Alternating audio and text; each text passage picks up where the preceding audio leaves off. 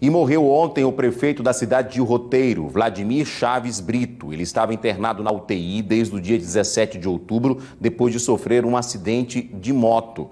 Esse acidente aconteceu, ele estava na UTI, infelizmente ele veio a óbito. A assessoria de comunicação da Prefeitura de Roteiro informou que o velório ocorreu no ginásio municipal. Acompanhe.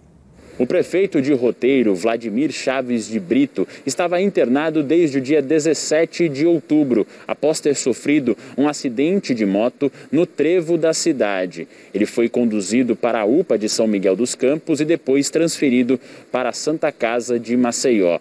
A causa do acidente não foi confirmada. As primeiras informações foram que ele teria sofrido uma pancada na cabeça e estaria em estado grave. O falecimento foi confirmado neste domingo. Em nota, a Associação dos Municípios Alagoanos lamentou a morte do prefeito e decretou luto.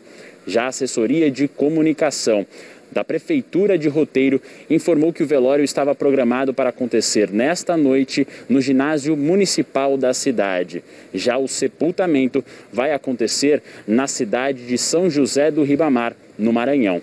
Do centro, Bruno Protásio.